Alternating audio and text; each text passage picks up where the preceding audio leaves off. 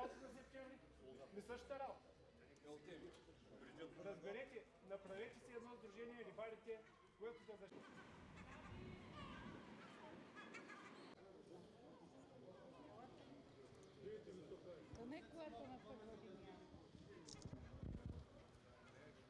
Ние не сме против забраната, когато е размножителен период и искаме а, да я плаваш а, този период, тъй като всяка година периода е различен в зависимост от температурата на водата.